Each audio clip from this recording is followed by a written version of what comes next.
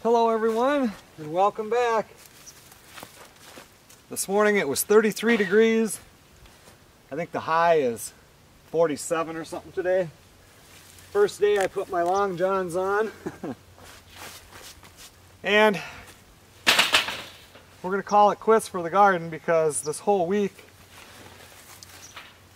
at night the temperatures are going to be in the 30s. Not below freezing every night, but uh, one or two of the nights are going to be below freezing and during the day it's going to be in the mid 40s. A couple of them are going to be 50. But uh, the garden's not going to grow anymore. So I want to get everything pulled out of here. Get those potatoes dug up that should have been dug up a month ago. So that I can eventually move this fence out of here. So I can push snow easier this winter. Picking all of this uh, squash and stuff. Most of that will go to the chickens, but yesterday we pulled a couple out of here. Melissa did a veggie bake.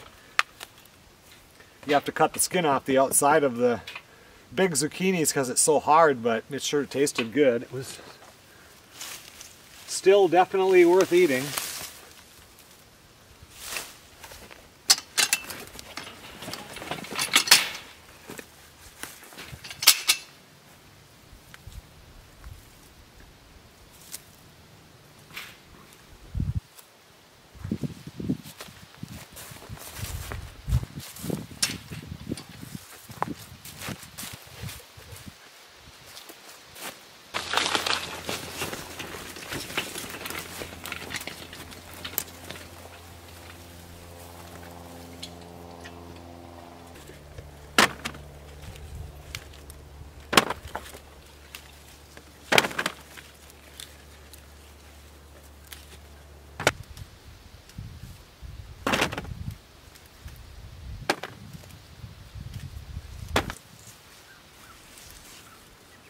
It's amazing that these uh, jalapenos are still flowering.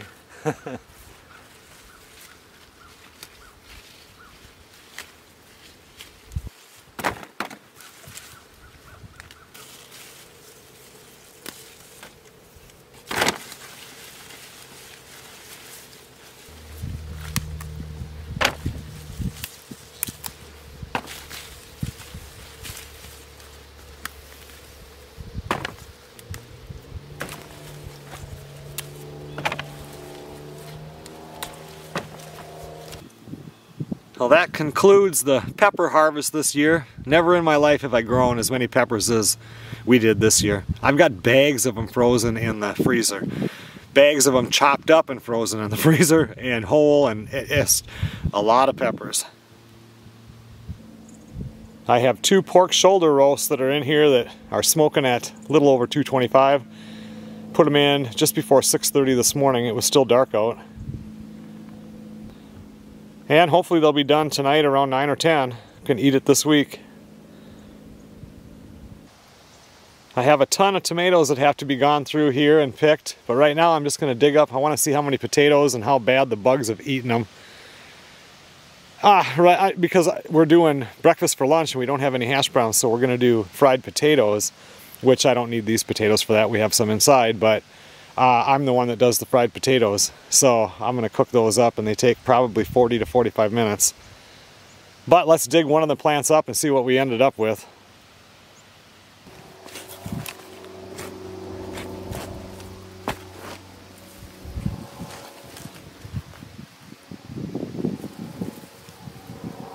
These potatoes were planted about three weeks later than the ones in the potato garden.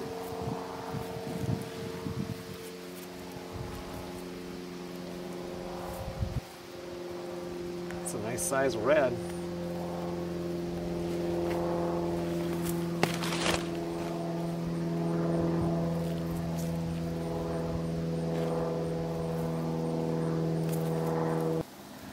No bugs on these. There's been nothing that's been chewed up. This is not from a bug. That's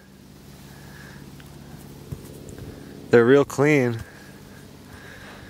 Let's dig up one more and see.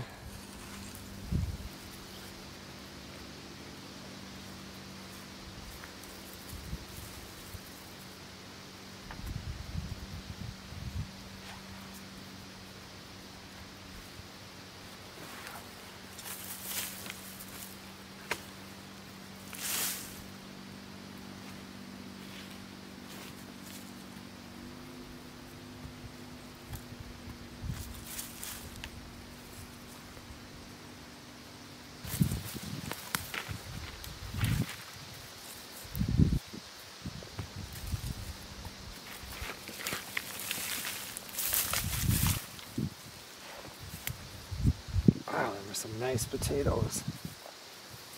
Look at the size of that one. That's a big red. Looks like the wind is starting to pick up. I'm gonna run inside and make some fried potatoes. I'm gonna bring this one in and show Melissa. That's a big potato.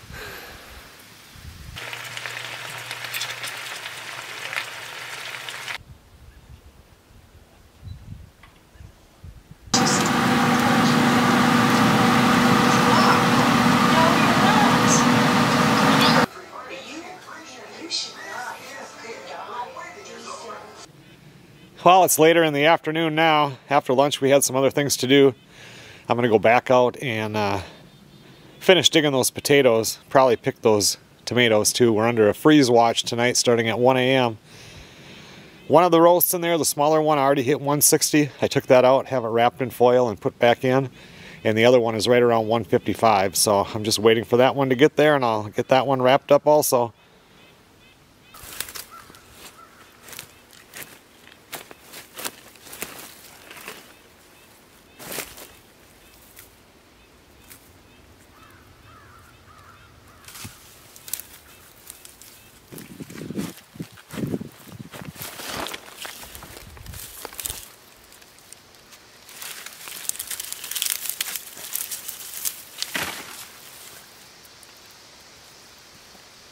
I think that's bigger than that other one. Holy crap, look at that one. All these are big, look at that.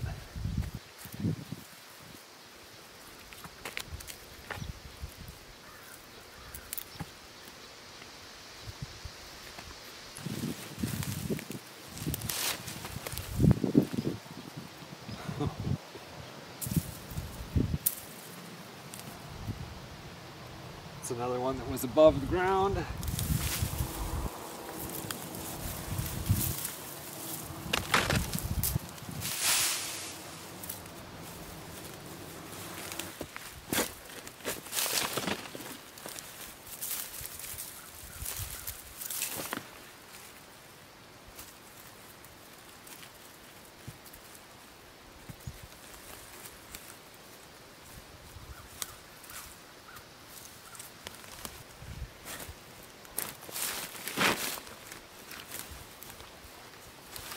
Oh, look at the size of that russet right there. You see that? Melissa, when we have a baked potato, I like reds and she likes the russets or the whites, and she always wants a big one. You know, if you're gonna do a baked potato, I never found one that big.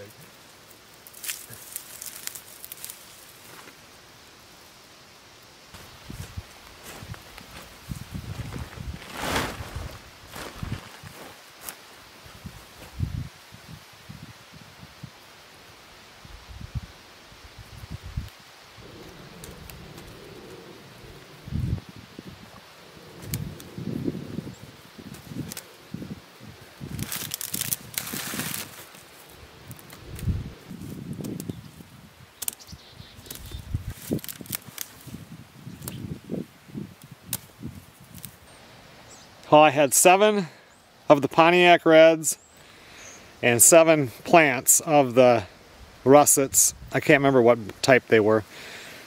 And we have 57 of the reds. Some are big enough to feed three people. Um, and I had, let's see, I had 57 and 45 of the of the whites over here. And some of these are big enough to, wow. That's weird because I think in the other garden, oh, same thing. I get more of a yield from the reds than you do the whites, but that's still a lot of potatoes. A little over 100 potatoes for 14 plants. That's not bad. And that's not including the real little ones. Them are just ones that you can actually do a baked potato with. Now I have to grab the tomatoes and I can call it done. The kale will still be in here, but that stuff will grow until it's snowing out.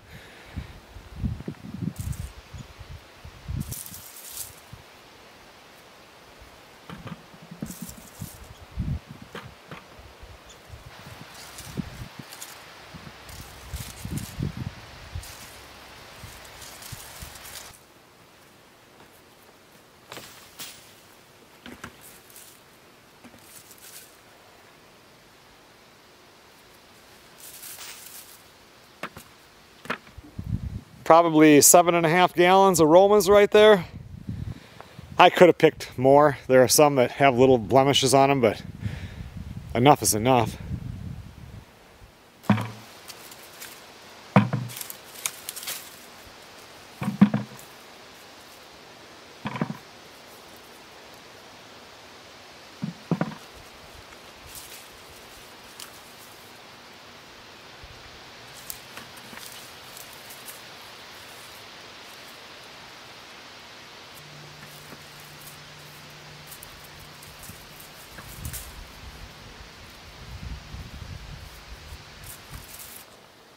Well, I think that's a little more than eight gallons right there of the beef steak and the early girl. That's a lot of tomatoes. That's the third time we've picked them and yeah, plenty of them. Awesome potatoes. I think what I'm gonna do is grab the tarp and just pull it over the top of the cabbage over there. I think we're gonna freeze dry another batch of it. But cabbage, you know, it stays a long time, but that takes up a lot of room in the fridge. And like for a freeze dryer, like some of these, they're cracked, but you can take that part off. And then if, if I just do that, I can just stay on the ground because then it's going to be, it's going to be chilly this week, you know, 40s, 30s and for the low, but tonight's going to be the real cold night of the next few. I don't know if we're going to carve those pumpkins or not. Never had anybody come here for Halloween, but Melissa did talk about that. Then we can take the seeds out and use them and whatever else she wants to do.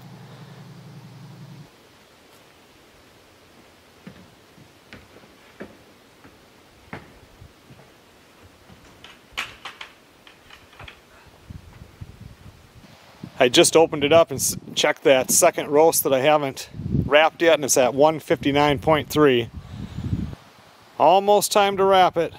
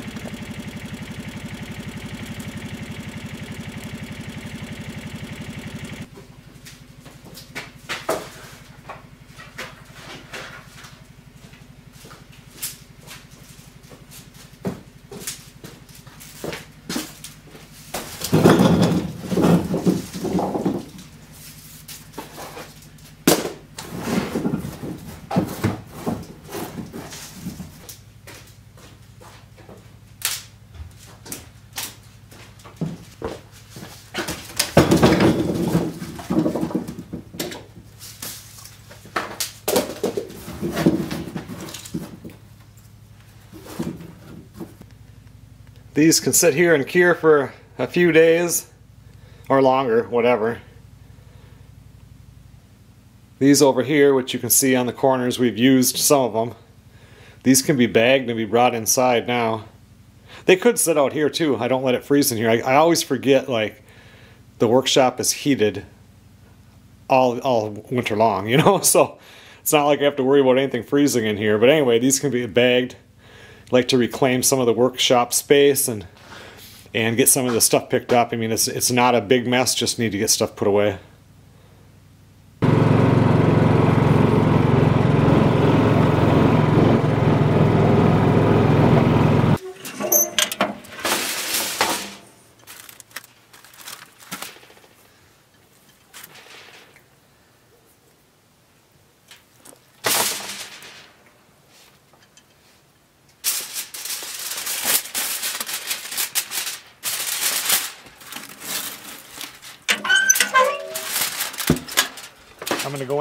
this really good and throw it back on.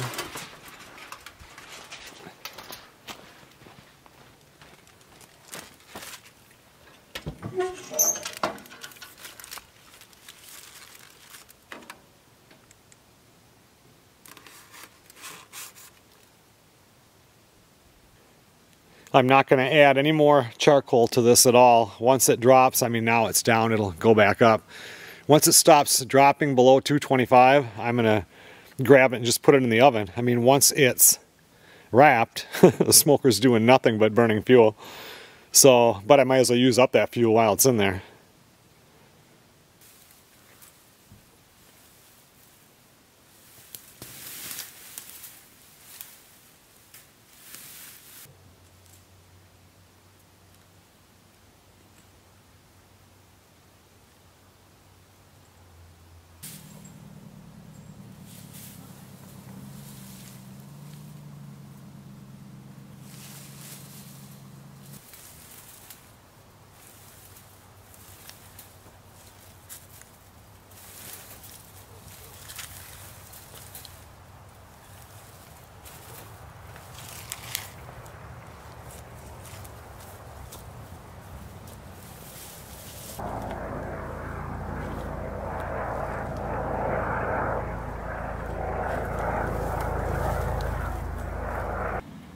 I thought I was going to end this one tonight, but I think I'll wait one more day. Got the fence out of this side, and then I even pulled that back corner back. I was just thinking in here, like I can really push the snow now. But I still got to get rid of this one, the doorway, and then back at least one right there, maybe maybe two. It's really hard to pull this out. This one I pulled out this spring, remember, to get the uh, bales out. So uh, that sucked. And now it kind of sucked now after all this stuff has grown this year. This one's been in here, what, three years? So, and it ruins the bottom of the fence somewhat, but you know, it'll be going against the dirt next year anyway. So, but I want to get this out of here. That's going to be so nice. Just think about it, just coming right in here with the tractor, pushing that snow through without having to get around this tight corner. Doesn't seem very tight when you walk it, but when you're in that big old tractor, you got to turn here and get going and get by the the boiler. And then last year I mean I pushed it way back but I need to push it back farther because this corner got tight. Like I had to push it and push it. And then I had to if you can remember I had to get back in here to get the wood splitter out. And that took me a long time to push that snow and I just don't like to put that much strain on the tractor. I mean it's a 1948 she's old. I mean it does anything I ask it to do but I don't like to push it too bad because when it breaks down, then what? I'm snow blowing everything.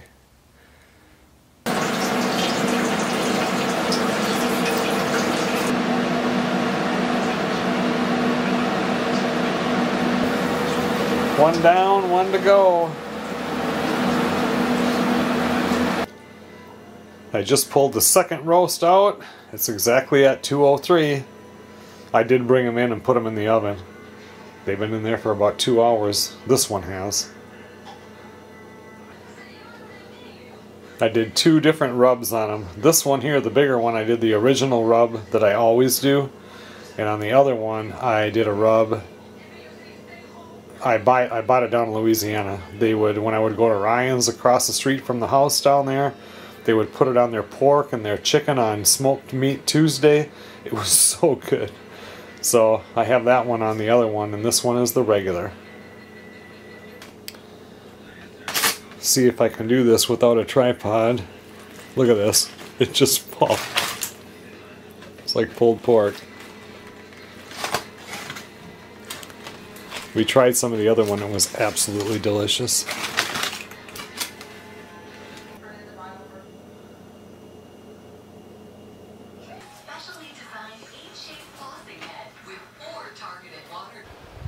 Good morning, everybody. 30 degrees, everything is covered in frost.